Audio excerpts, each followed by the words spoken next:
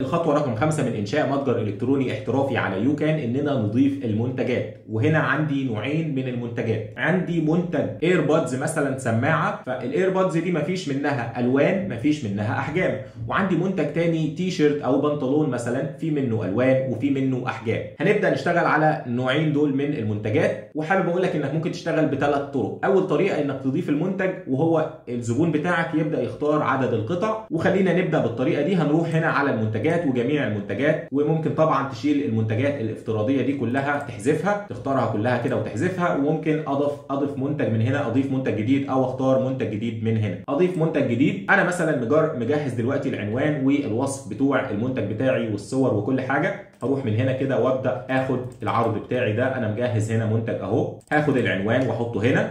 وهنا باخد الرابط بتاعي. لو أنا مثلا بشتغل أو ببيع ساعة كده واسمها F 16 فهكتب watch شرطة كده F 16 ده لو أنا مثلا ببيع ساعة لو بتبيع مثلا بنطلون جينز هتكتب جينز. الرابط ده بيبقى كويس جدا وبيساعدك في ال SEO. فأنا هنا مثلا هكتب رمضان رمضان offer مثلا. أنا ببيع عرض كده مخصص لرمضان. طيب هاجي بعد كده أضيف وصف المنتج بتاعي. أهو أنا مجهزه. تبقى مجهز كل حاجة كده في ملف نصي عشان الدنيا تبقى سهلة معاك. وهاجي من هنا واختار حرف البي بحيث إن أنا أكبر دي وأخليها في المنتصف كده تبقى هي دي ال آه يبقى ده هو ده النص الجذاب بتاعي. طيب أجي بعد كده واختار السعر. هنا بختار السعر بتاعي مثلا أنا حابب أبيع ب 200 جنيه والسعر الأساسي للعرض ده ب 250 مثلا. فبعمل له كده كي زي نظام خصم. هاجي بعد كده أبدأ أضيف الصور. خلي دايما الصور بتاعتك مربعة. قصها دايما تبقى في شكل مربع. هو هنا بينصحك 800 في 800 هضغط على رفع الصور وأبدأ أختار الصور بتاعتي. دايما بيبقى فيه صورة رئيسية اللي هي بيبقى فيها العرض كده أو الصورة الأساسية بتاعتك. فهتبدأ تجيب الصورة دي بالشكل ده من اليمين للشمال كده لحد ما الصورة الأساسية تيجي في الصورة الكبيرة أو المكان الكبير ده. هو ده المكان الأساسي وهي دي الصورة الرئيسية بتاعتي. طيب أنزل بعد كده على المتغيرات. أول منتج أنا مش هضيف فيه أي متغيرات مثلا وهعرفك المنتج بيبقى شكله إزاي. هنروح على المتجر عادي. هيبقى المنتج زي أي منتج موجود افتراضي في المتجر زي ما اتفقت معاك ممكن تحذفهم. هو المنتج ده منتج عادي خالص ليه سعر وليه آه زر شراء الآن وخلاص هو بيشتري المنتج. طيب تاني نوع من المنتجات إن أنا أبدأ أضيف فيه عروض لو أنا عايز أضيف عروض في المنتج. مثلا القطعة الواحدة مثلا من العرض ده ب 200 جنيه. طيب إيه رأيك ادي لك قطعتين وادي لك خصم مثلا 15% أو 20% طب إيه رأيك ادي لك ثلاث قطع وادي لك خصم 30% النقطة دي بتفيدك شوية. طيب هنروح من هنا عشان نشتغل عليها من المتغيرات. وابدأ أضيف خيار. واجي من هنا أختار وأكتب عدد القطع. وابدأ أختار من هنا أزرار الراديو بحيث إنها تبقى أزرار تحت بعض. واجي من هنا قطعة واحدة قطعة واحدة. واجي أقول له قطعتين وأديله هنا خصم مثلا خلينا نقول 15% وأدي إنتر وأديله هنا ثلاث قطع واديله خصم مثلا خلينا نقول 30% واديله انتر يبقى أنا عندي كده الثلاث عروض بتاعتي آه لكل عرض من دول صورة. لو أنا مثلا عندي كده آه صور مجهزة فيها قطعة واحدة أو فيها قطعتين أو فيها ثلاث قطع ببدأ أضيف لكل عرض من دول الصورة بتاعته وممكن هنا آجي بقى أبدأ أشتغل على السعر. فأنا هلغي الخصم مثلا أخليه 200 200 جنيه و200 جنيه. كأني مش عامل خصم وأبدأ أعمل خصم على القطع طيب أنزل من هنا وأبدأ أختار الخصم هنا 200 والسعر 200 عادي. طيب القطعتين قلنا القطعة الواحدة ب 400 وأنا عامل خصم 15% طب القطع القطعة الواحدة ب 200 قصدي. طب القطعتين يبقى 400 طيب أعمل إزاي الخصم؟ هروح على الآلة الحاسبة بتاعتي وبعد كده أكتب 400 في 15 هيديني 60 يبقى 400 ناقص 60 هيطلع لي 340 يبقى القطعتين بعد 15 بعد خصم 15%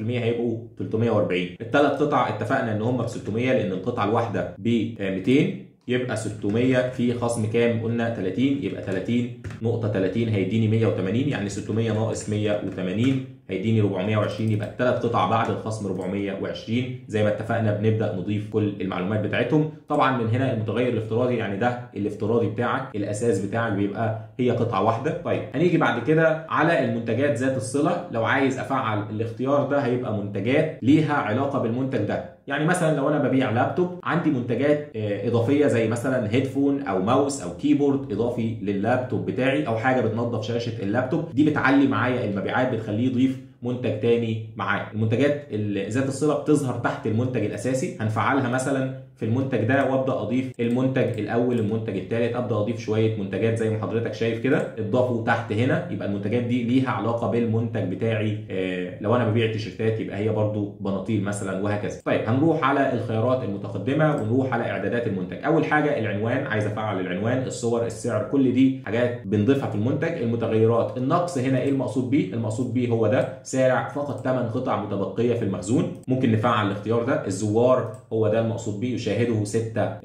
في المتصفح الآن. وكمان العد التنازلي هو المقصود بيه العد اللي شغال ده. المعلومات دي أو الحاجات دي بتخلي الزبون ممكن يشتري أسرع من كده ممكن تفعلها وممكن تشيلها براحتك. بعد كده الوصف بتاع المنتج بنسيبه عادي. نموذج الخروج السريع المقصود بيه إن المنتج أو الزبون يشتري من نفس الصفحة. ودي حلوة جدا. خطوة كده بتسرع الدنيا ما يروحش لصفحات تانية ويشتري منها لا يشتري من نفس الصفحة. خلينا نفعلها في المنتج ده. طيب بعد كده اضف إلى السله أو الزر بتاعي اللي هنا ده اللي هو شراء الآن. يبقى إيه؟ شراء الآن. ولا مثلا ممكن أخليه اطلب الآن مثلا أو تأكيد الطلب أو اشتري الآن أو شراء الآن. ايا كان. ولون الخط مثلا أنا حابه مثلا باللون الأبيض والخلفية مثلا باللون ده. يبقى لون كده واضح ويبقى ماشي طبعا مع المتجر بتاعك. تفعيل المراجعات هنا حابب الزبون بتاعك يضيف مراجعة ولا لا؟ أنا مثلا حابب تخطي عربة التسوق بحيث إن هو لما يدوس شراء يروح على طول على صفحة تأكيد الطلب ما يضيفش المنتج لعربة التسوق. لكن أنا أصلا مفعل له الاختيار اللي هو يشتري من نفس الصفحة فهتخطى عربة التسوق عادي. يبقى كده كل المعلومات بتاعتي هنا. طبعا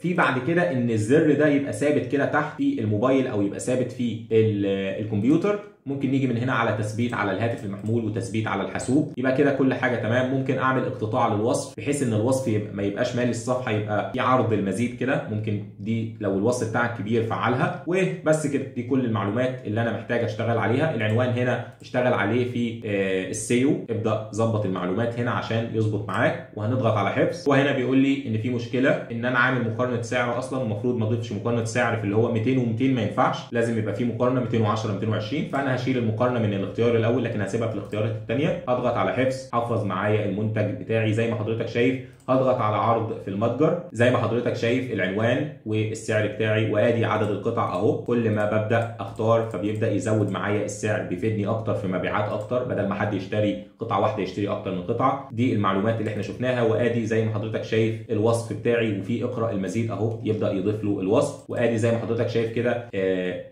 الشراء من نفس الصفحة وفي sticky button هنا أو sticky button وفي هنا التقييمات. خلينا نشوف كده click يمين ونشوف الشكل على الهاتف. زي ما حضرتك شايف الصورة الأساسية وفي صور ثانية للمنتج بتاعي العروض بتاعتي والوصف بتاعي والشراء من نفس الصفحة. ولو تلاحظ تحت ففي sticky button أو زر ثابت كده في الصفحة من تحت. بيشجع إنه يشتري وفي المنتجات المشابهة أو المنتجات اللي ليها صلة زي ما اتفقنا أهي تحت بتزود معايا المبيعات مفيش أي مشاكل. طيب تاني نوع من المنتجات أو ثالث نوع بقى المرة دي هو المنتج لو مثلا تي شيرت ففي أحجام medium large و X large وفي كمان إيه؟ ألوان. طيب إزاي أبدأ أشتغل على الحاجة دي؟ نفس الشغل ده بس شغلي كله هيبقى في المتغيرات. طيب هروح منتج جديد وأبدأ أضيف المعلومات بتاعته سريعا كده. ضفت هنا المنتج بتاعي هو بنطلون جينز فجينز وجينز هنا بال English وكتبت الوصف بتاعي وهنا آجي للسعر بتاعي. أنا مثلا لو هبيع البنطلون فهبيعه مثلا خلينا نقول سعره ب 200 جنيه. ولو هبيع بنطلونين فهبدأ أعمل تخفيض. طيب أروح من هنا أرفع الصور بتاعتي.